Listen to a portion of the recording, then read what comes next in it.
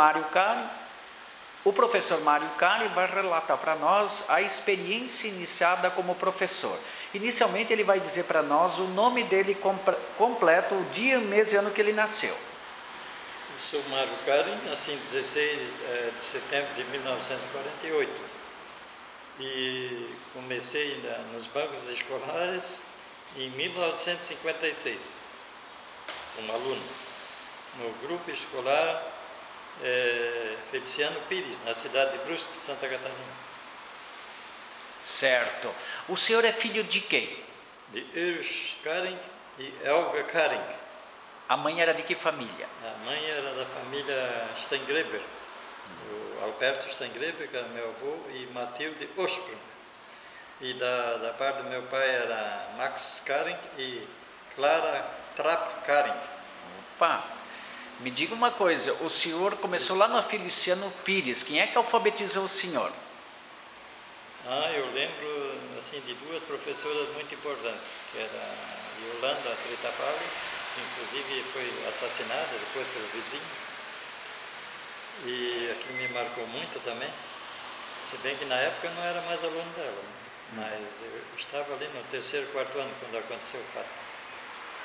Depois tinha a dona Noêmia de Andrade, uma pessoa, já era uma pessoa professora mais antiga, assim, e a Marília Carneiro, que eu não fiquei nessa mesma escola, não, depois eu tive mudando para outra escola, porque essa outra escola que fizeram, uma nova, era Dom João Becker, Grupo Escolar Dom João Becker, e aí então parte dos alunos que estudavam lá no Pires foi transferido para aquela escola. E daí então lá eu fiz o, a quarta série no caso. Certo. O senhor falou o nome da professora que foi assassinada, o nome dela? Yolanda Tritapalli. Ah, Tritapalli. Tritapalli. Tritapalli. Tritapalli. É. Isto. Muito bem. Ah, aonde que o senhor concluiu o ensino de formação de professor? Pois é, depois dali eu fui, eu fiquei dois anos sem estudar, por causa que meus pais não tinham é, suficientemente é, meios de me manter estudando, aí surgiu as escolas da comunidade. É, o ginásio, no caso, no caso era Honório Miranda, lá em Brusque. Cenezista. Hã? Escola cenecista. Isso, isso, isso.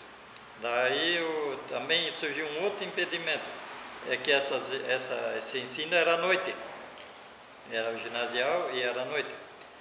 E como eu não tinha os 14 anos, na época o juiz proibiu que menores de 14 anos fossem estudar à noite, então eu fui obrigado a ficar dois anos fora. Daí em seguida eu fiz o ginásio lá até o terceiro ano, terceira série no caso, né?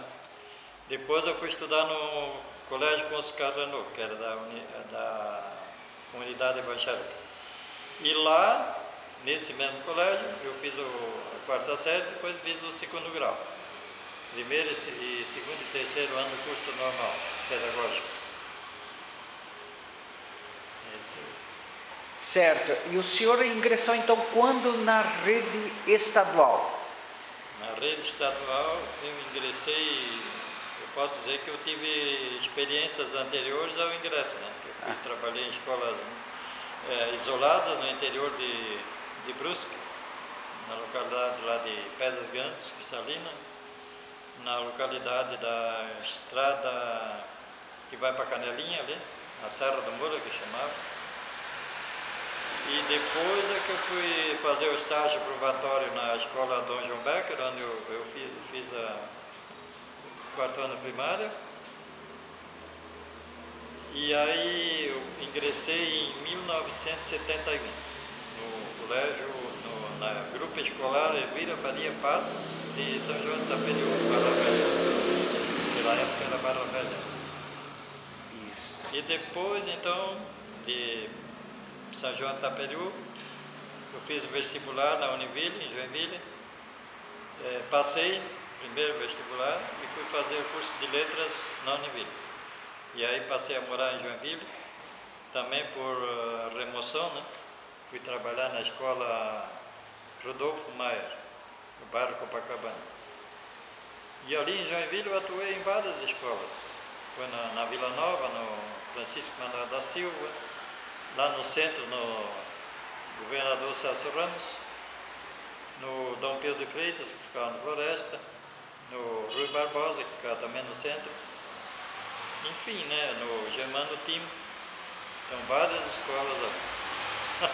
Certo. Mas o senhor, na, na, na, Farias, em São João do Itaperiú, o senhor foi diretor da Escola Reunida, é isso? Eu, é, um grupo escolar. Por três anos eu fiquei como diretor ali e também atuava como professor. Isso. E como era São João Itaperiú na década de 70? Oh, não tinha nada lá praticamente. Era só o grupo e tinha ali um salão de festa, a igreja e eu me lembro umas poucas casas em torno ali. A maioria era, trabalhava na agricultura. Morava assim meio espalhado ali pelo interior.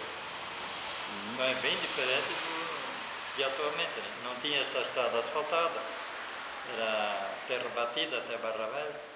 Até fiz várias vezes de bicicleta esse percurso, não, que uns 6 quilômetros lá, que eu tinha que às vezes ter contato com o coordenador de ensino, Orlando, que no caso seria o Orlando Mello, e ele de vez em quando fazia as reuniões lá no, no meu, no meu grupo, né, porque o grupo escolar ali ele centralizava os, as escolinhas que tinha em volta, as escolinhas isoladas. E esse pessoal das escolinhas isoladas e reunidas, eles vinham ter reunião com, com esse coordenador. Lá, inclusive, que eu conheci a minha esposa, nessas reuniões aí. Ah, é? É, Maria Beatriz. A Maria Beatriz nasceu aonde, então? É, ela, na verdade, é de Pissarras, né? Balneário Pissarras, mas morou em Joinville. Meus pais moraram em Joinville. Eles eram do interior, moravam no interior lá de, de Pissarras. Certo. Daí, o pai queria dar estudo para os filhos e resolveu vender todo o patrimônio dele lá do sítio e foi ser comerciante lá em Joinville, no bairro Floresta. Isso. Ela é de, de qual família? De Oliveira, ela é de Oliveira. De Oliveira. O nome do sogro e da sogra, o senhor recorda? Antônio Manuel de Oliveira, é falecida há três anos agora, morreu com 95 anos. E a esposa, que é a Beatriz Epifânia de Oliveira, Borba de Oliveira. Borba de Oliveira. É, de família Borba, lá de Pissarros. Isso. E a sua esposa lecionava para o primário? A minha esposa lecionava em Santo Antônio de Taperiú, quando eu conheci, e ela também era responsável pela escola, assim, responsável pela direção da escola, lá em São João de Itaperi. Em Santo Antônio do Itaperi, que é um, são bairros assim, não tão próximos, né, mas são localidades, na né? mesma localidade. Né? E ela morava lá ou ela ia todos os dias? Não, ela morava lá. Na comunidade. É, inclusive teve uma época que nem tinha luz elétrica, era na base daquele lampiãozinho de querosene. e foi difícil. Depois adiante é que conseguiram um lampião de gás. Ela inclusive trabalhou com Mobral, é, na, na escolinha lá, dava aula para os adultos com um lampião de gás. É, eu também consegui, em São João também tive experiência nesse sentido. Com o Mobral, antigamente era Movimento Brasileiro de Alfabetização. Até me lembro de uma senhora que ela tinha 78 anos já, e o objetivo dela era aprender a ler e escrever para poder ler a, a Bíblia, a Bíblia Sagrada. E graças a Deus eu nunca me esqueço que ela conseguiu. Então isso para mim foi uma alegria imensa. Senti que ela tinha também um aluno meu que infelizmente devido à mão muito calejada da, da agricultura, infelizmente embora eu tenha melhorado os conhecimentos dele, ele não conseguiu é, não conseguia segurar o lápis direito. Esse me eu lamentei muito do que aconteceu. Certo. O, o, um fato, em que dia e mês de ano vocês se casaram? Ixi, foi em janeiro de 72. Barra Velha mesmo? Não, o casamento foi em Joinville, não. Sagrado Coração de Jesus. Hoje é um santuário, né? Um santuário. Muito bem. Filhos desse matrimônio? A gente teve é, dois rapazes e duas, duas meninas, uma falecida. Uhum. O nome dos filhos? É o Jean Alexander, o Mário Karen Jr., que é advogado, e o, a, a, Sandra Beatriz, que é falecida, né? Uhum. E tem a Juliana Clarice, também é advogada. E o filho mais velho trabalha na área de informática. Certo. Muito bem. Ah, passando esses últimos anos, ah, né, ou passando toda essa trajetória de vida dedicado à educação pública da Escola Catarinense e da Escola Jaraguaense, tá? qual a sua mensagem? Acho o seguinte, que quem está nessa luta né, no magistério tem que constantemente se aperfeiçoar né, e e usar das, dos meios que, a, que atualmente se tem disponível, né? E, porque não se pode ficar uh, atrelado a algo que já aconteceu há muito tempo, porque o aluno em si ele não, não se conecta com esse tipo de. E aí uma aula pode ser muito monótona e, e o aluno não se interessar por ela. Então o professor tem que se atualizar sempre e usar dessa atualização para ter um êxito no seu trabalho. A partir de amanhã em casa, o que é que o Mário Karin se organizou para esses dias de repouso, ah, de dedicação? Passou os últimos três anos praticamente aqui no Emílio da Silva.